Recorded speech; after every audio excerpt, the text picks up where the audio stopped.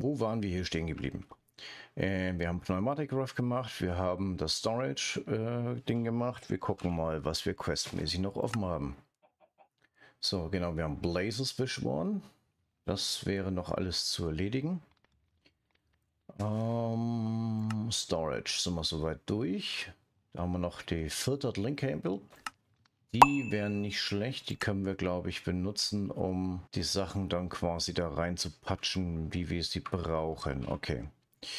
Gut, das werde ich mich nochmal schlau machen. Wir sind jetzt hier. Wo geht's lang? Wo geht's lang? Keinen direkten Ding. Wir haben, was haben wir da eigentlich noch offen? Lassen wir mal gucken. Genau, die Slimy Bee, die Zombie Bee, die Skeleton Bee, die Ancient Debris Bee, die Ancient Debris, brauchen Nether Bee und Obsidian Bee. Das ist kein Problem. Da brauchen wir Obsidian und Netherrack und dann kriegen wir die Ancient und dann kriegen wir Ancient Debris. Das wäre nicht schlecht. Wir könnten versuchen, den Epi Ray zu bauen. Für den Epi Ray brauchen wir aber Nether Star. Das heißt, wir bräuchten den Wither. Wenn wir in die Richtung gehen, müssen wir... Gibt es Witherproof Blöcke? Ich glaube ja, ne? Ähm, gibt's. Witherproof Glass. Witherproof Block und Witherproof Glass. Gibt's beides. Brauchen wir Obsidian und Netherite Ingot. Also gut, würde ich sagen, versuchen wir Richtung Wither zu kommen. Das heißt, wir brauchen, wir bräuchten eine Wither. Gibt es eine Wither Bee? Wither Skeleton Bee. Und da gibt es wieder wahrscheinlich ein Spawn Egg. Wither Skeleton Bee Spawn Egg. Die Skeleton Bee muss über ein Wither Skeleton Skull fliegen. Okay. Und sie muss natürlich das Ding bestäuben. Dann kriegen wir das Spawn Egg. Das heißt, wir brauchen die Slimy Bee, das heißt, wir brauchen die Skeleton Bee. Und die Skeleton Bee läuft, ähm, machen wir so. Genau. Wenn wir die Slimy Bee über einen Skeleton Skull, dann kriegen wir eine Skeleton Skull. Eine Skeleton Bee. Okay. Ja, ja. Gut. Dann machen wir das, machen wir das Slimy Bee. Ähm, Resourceful Bees. Ein Slimy Bee Nectar Block und der besteht aus Water Honeycomb und Slime Block. Slime, da brauchen wir Pilze, und Organic Water. Slimy Bean Nectar Block. Gib ihn. Mach mal. Honig haben wir noch drin. Jo. Ja. Skeleton. Dann machen wir den Creeper wieder rein. So, Slimy Bee. Wir haben da noch eine Blaze DNA drin liegen. Das ist gut. Dann können wir uns wieder eine Blaze machen. So, achso, ja, ich wollte mal was ausprobieren. Und zwar, wenn wir den Block bisschen höher machen. Machen wir mal so. Und so. Und dann müssen wir erstmal pennen. Dann brauchen wir einmal ein bisschen Dirt. Und einmal Water. Machen wir mal das Slimy Bee. Und die hat ihren Block gefunden, schafft es aber nicht wirklich Schaffst du es hoch? Komm, du schaffst das. Ach, komm.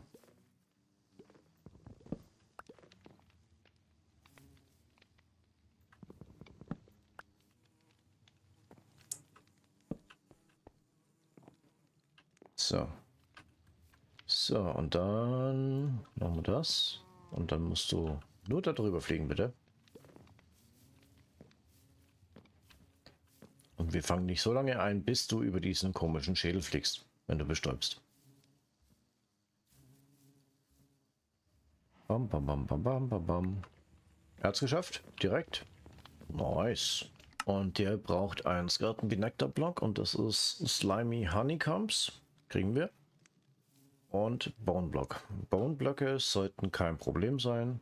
Eine Ancient Bee, Nether Bee und Obsidian Bee und wir brauchen als Futterblock Ancient Bee Nectar Block und der besteht aus Nether Honeycomb und Obsidian Honeycomb, zwei Stück jeweils. Ähm, Obsidian das und dann brauchen wir, glaube den da, ne? Ancient Bee Nectar Block. Wird gemacht. Ach, die Netherbee ist da drüben, ne? So, den muss man mit.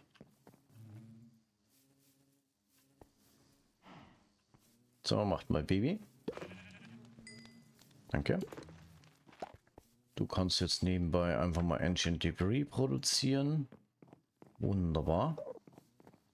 Was ist dann hier. Das ist doch nice.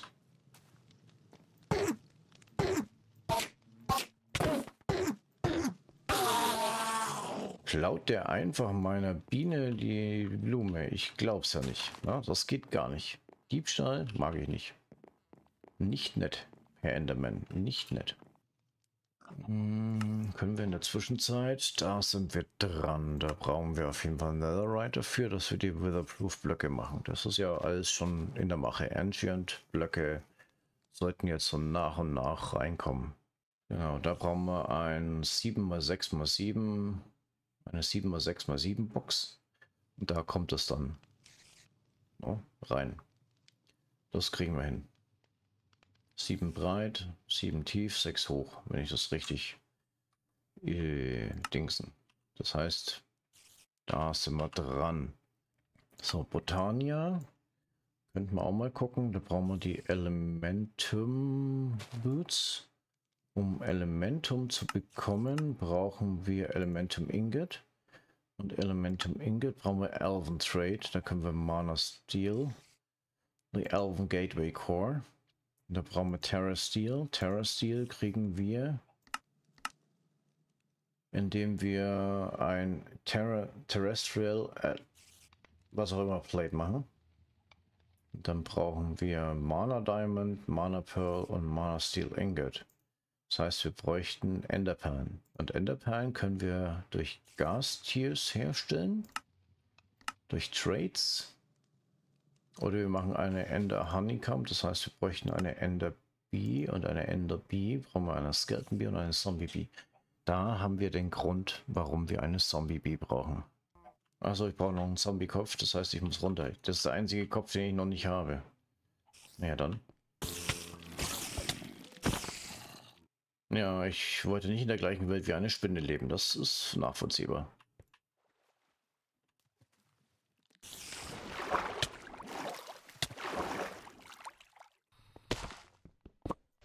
Danke. So.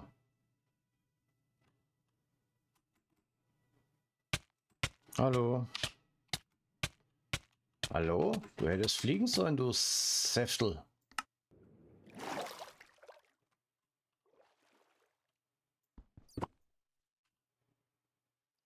Okay.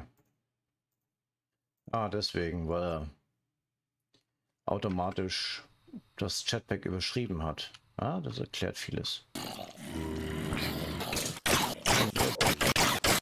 Kein Kopf mehr auf unserer Liste? Das wäre schön. Ich hätte immer noch gern Debitor oder Kopf. Aber ich hoffe, dass die nochmal kommen. Slime B, du hast einen Auftrag.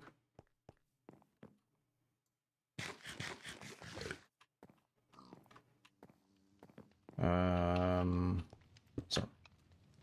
So, drüber fliegen. Und zwar zackig. Danke. So, Zombie Spawn Ei haben wir auch. Zombie Bean Vector Block. Da brauchen wir wieder Slimy Honeycomb und Rotten Flash. Rotten Flash ist kein Problem. Das sollten wir problemlos haben. Die Slimy Honeycombs, die sind, die sind halt das Problem. Das heißt, wir brauchen schon mal vier. Meine einen haben wir theoretisch. Vielleicht sogar zwei. Und Ancient Debris kommt jetzt auch langsam rein. Terrestrial Agglomeration. Also, schauen wir mal unter Botania. Da muss ja da hier irgendwo drin sein. Hier. Da brauchen wir das da. Ah, okay, da brauchen wir die Runen. Alles klar. So, also einmal die da. Fünfmal Living Rock, das ist weniger das Problem. Lapis Blauli Block, das ist auch kein Problem. Und Arc. Blaze. Irgendwelche Farben. Also Hauptsache das sind die Mystical Sachen. Blaze Powder ist kein Problem. Okay. Das einzige, was ein bisschen Aufwand ist, ist das da. Die Rune of Fire ist schon wieder aufwendiger. Oh, die ist knackig. Da brauchen wir den Runic Altar. Und der Runic Altar ist auch schon heavy. Mana Pearl oder Mana Diamond? Mana Diamond. Ist Diamond in Mana Pool. So. Dann haben wir den schon mal.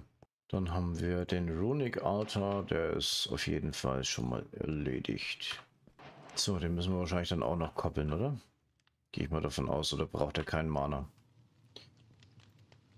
Ich gehe trotzdem davon aus, dass das irgendwie der Fall sein wird. Doch der braucht Mana. Bone Meal, Sugarcane, Fishing Rod, Mana Powder.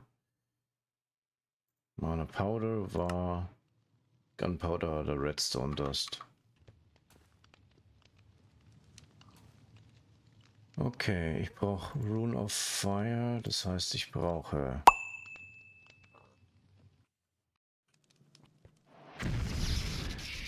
Bam. Und da wird die Fire Rune hergestellt. Wunderschön. Dauert ein bisschen, aber... Oh, das frisst schon ein bisschen was an Mana. Bitteschön, esst euch satt. Da haben wir es. Rune of Fire. Gut, die ersten hätten wir. Dann Rune of Air. Gleiches Spiel. So. Gut. Rune of Fire, Rune of Air. Haben wir durch. Rune of Mana ist relativ einfach.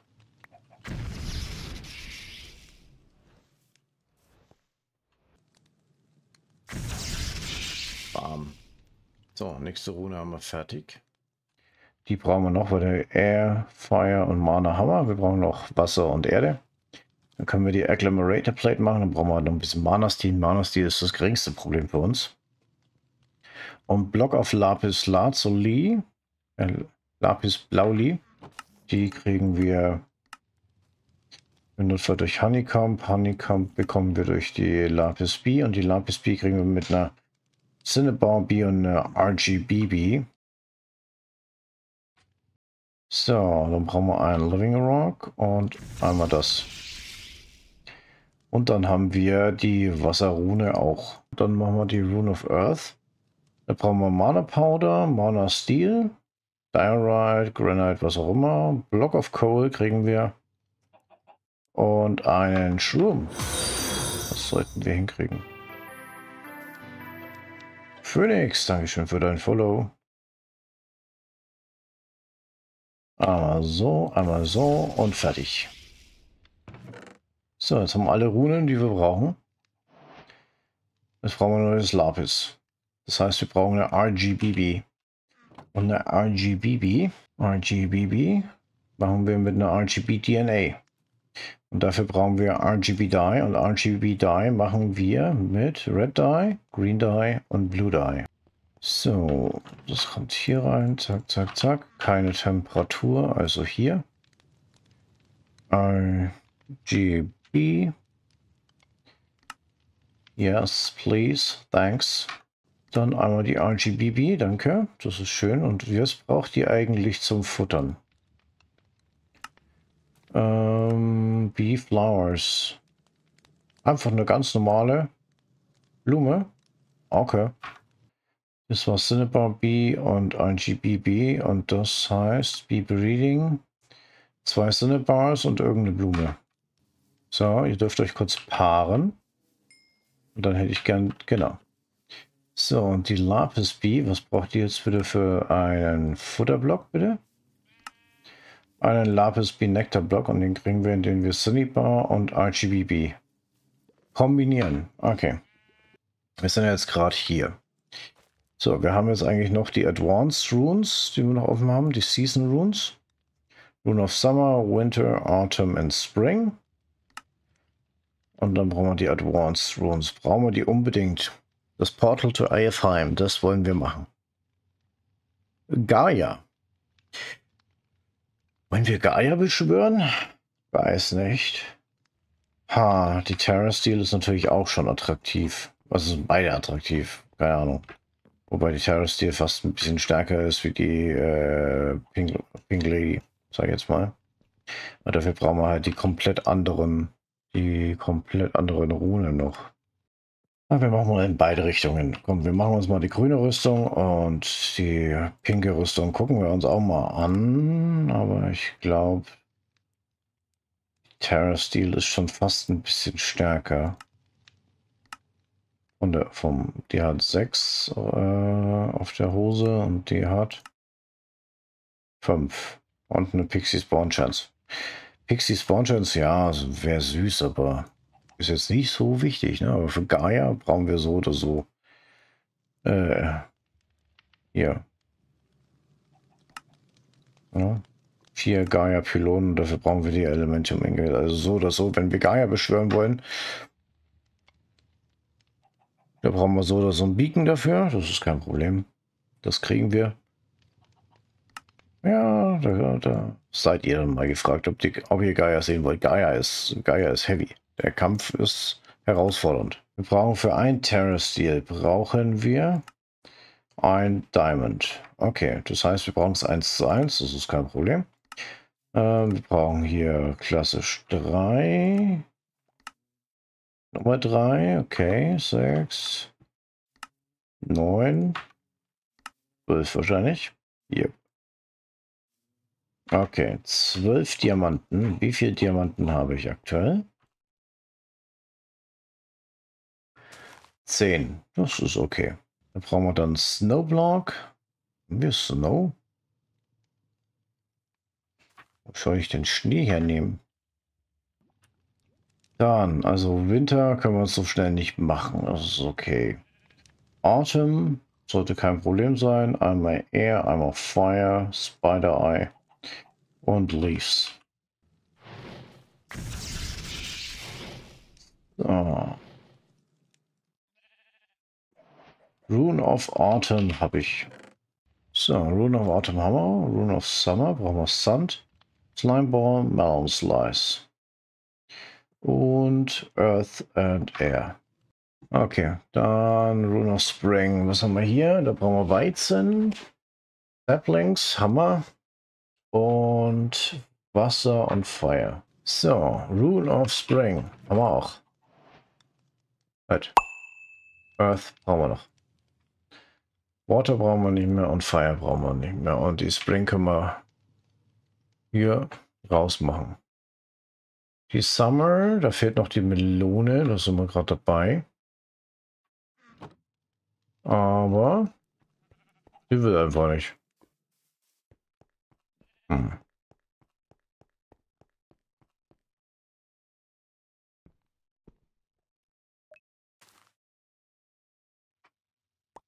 So. Wenn ich mich aufregst, Melone, dann kommst du mit. Dann kommst du hier rein. Und dann wächst du mir halt hier dran. Ist doch mir schön egal. No? Und dann haben wir uns ein paar Bones. Machen wir so einen kleinen Backen Bone Meal.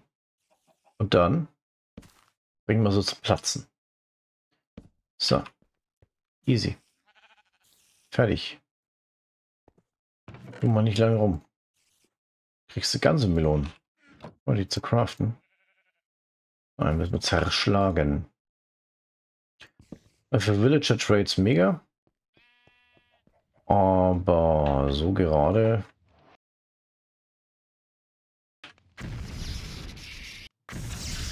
So, dann haben wir Rune of Summer. Autumn, Spring and Summer. Jetzt fehlt bloß noch Winter. So, das heißt, ich brauche Schnee. Ich brauche Schnee. Daisy. Ha!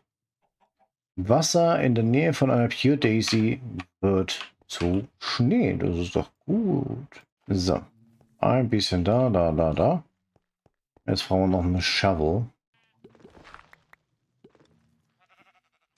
Äh, das wollten wir jetzt nicht. Na dann, würde ich sagen, haben wir auch die vier Jahreszeiten ge gebändigt. Das ist schön. Das heißt, die, die Ender haben wir auch noch nicht gemacht. Weil ich brauche nämlich jetzt auch noch ganz viele Enderperlen. Die Enderbee. Skeleton Bee und Zombie Bee. Deswegen waren wir dabei. Und das heißt, das Breeding, acht Knochen und vier Rottenfleisch. Und was braucht ihr dann als Futter? Ein Ender Bee Block. Und das ist ein Zombie Honeycomb Block und ein Skeleton Honeycomb Block. Okay. Okay. Kurz pennen, züchten, weitermachen. So. Dankeschön. Sehr schön. Okay. Die Ender B ist abgeschlossen. Jetzt brauchen wir bloß noch den Ender B Nectar Block. Und da ist der Bottleneck, das Skeleton Honeycomb Block. Also, mache ich mir einfach nochmal ein paar Skeleton Bees. Das ist einfach. It is what it is. Oh, Zombie, Slimy. Dann mache ich schon mal die ersten Mana Diamonds. Die können wir schon mal fertig machen. Ne, können wir nicht, weil wir nicht genug haben. Können wir nämlich schon mal die ersten Mana Diamonds so ein bisschen durchknallen, weil das dauert nämlich auch ein bisschen, bis die fertig sind. Die Enderbee ist am Start. Die braucht jetzt bloß noch was zu futtern. Dann macht die uns die Sachen für die Enderperlen. Und dann ist das auch soweit erstmal. Und wenn jetzt die Skeleton Bees auf jeden Fall auf den Putz hauen, weil es sind jetzt drei, also wenn das nicht reicht, dann weiß ich auch nicht weiter. Ähm, dann sollte das Ganze jetzt auf jeden Fall deutlich schneller gehen. Und sich dann echt überlegen kann, ob man sich nicht irgendwann auf kurz oder lang von ein, zwei, drei Bienen trennt.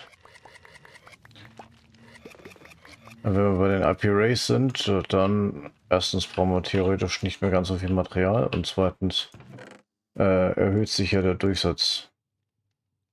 Haben sie ja geschrieben zumindest. Ähm, 1, 2, 3, 4. So. Dann haben wir das. Jetzt können wir nämlich einmal auf jeden Fall Gas geben, das ist schön. Und für den Lapis, wie Flower, haben wir RGB und Cinnabar. Cinnabar haben wir auf jeden Fall. Und dann brauchen wir die Lapis. Gut ein Job. Gott verdammt. Dann das. Lapis müsste jetzt dann mit der Zeit reinkommen. Da hat er jetzt den Block bekommen. Also können wir die erste mal, ja, lassen wir mal noch, vielleicht machen wir uns eine zweite, müssen wir mal schauen. Ja, beobachten wir einfach mal wieder, wenn die so extrem produziert oder wenn der Lapis aus den Honeycombs so gut äh, rauskommt wie aus den Ors, dann brauchen wir eine, reicht und total. Und dann kriegen wir ganz schnell das zusammen, was wir brauchen. Und wir nähern uns auf jeden Fall dann mit großen Schritten dem was wir vorhaben. Und zwar Terror Steel. Oder mal gucken, wie viel da rauskommt. Ne, 1 zu 1 Umwandlung. Das war ja fast klar. Natürlich. Warum sollte man auch die Spieler verwöhnen? Nein, da nerven wir das Ganze 1 zu 1. Ein Honeycomb, gleich ein Lapis. Diamant. Die Diamantbiene holen wir auf jeden Fall noch raus. Die werden wir auf jeden Fall auch noch mit reinmachen. Weil da sind wir ja gerade dabei, indirekt zu sammeln. Blaze Honeycomb Blöcke müsste genug da sein. Sollte. Ich habe jetzt nicht so viel Blaze verbraten die letzte Zeit. Kohle ist ein bisschen was da. Lapis hätten wir den ersten Block. Das ist gut. Wir brauchen drei, ne? Wir brauchen drei. Gut. Aber da, da, da geht was. Also bin zufrieden mit dem Durchsatz. Die Lapis Beam macht ihre Arbeit. Gucken wir jetzt dann gleich nochmal rein, wenn wir den Block hier pos positionieren. Und dann haben wir trotzdem schon wieder heute eine ganze Ecke geschafft. Nicht ganz das, was ich wollte, aber wir sind kurz davor, Terra Steel zu machen. Wir werden auf jeden Fall schauen, dass wir das Weatherproofed Zeugs dann als nächstes noch ran schaffen. Und natürlich müssen wir noch in den Nether und ein bisschen Köpfe jagen. Zumindest zwei mindestens. damit wir den äh, die Butter die quasi mit Essen versorgen können. Ja, das ist doch schon mal ein Plan das nächste Mal, würde ich sagen. Währenddessen kann ich hier nämlich noch ein bisschen Ressourcen sammeln. Beziehungsweise sammeln lassen, muss man sagen. So, aufpassen, dass ich keine Biene erwische, weil jetzt, wenn was passiert, ne, dann, dann, dann steigt die Party aber richtig. So, genau, so ungefähr. Das ist die Enderby. Komm her, komm her, du. Blödes Ding. Bitteschön. Hat ein bisschen gedauert, aber hier ist sein Block. Bitteschön, lassen Sie schmecken.